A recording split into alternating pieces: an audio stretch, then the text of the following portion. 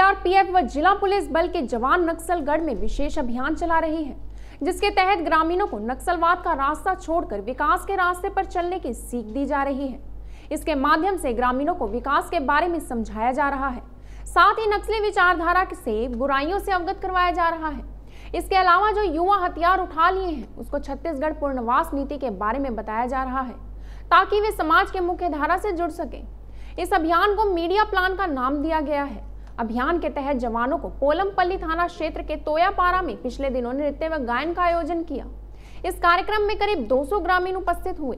जवानों ने लोगों से अपील की कि नक्सलियों के बहकावे में ना आए और शासन के विकास को अपनाकर क्षेत्र के उन्नति में भागीदार बने।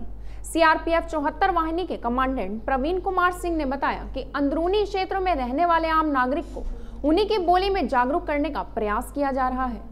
JBD Banquets लाए हैं। Incredible Marriage Palace Rajgharana and the finest banquet hall Jyoti Garden. World class catering, centrally air conditioned, lush green lawns, state of the art lighting. A perfect venue for wedding, launching and parties. Rajgharana and Jyoti Garden at JBD Banquets Enterprise.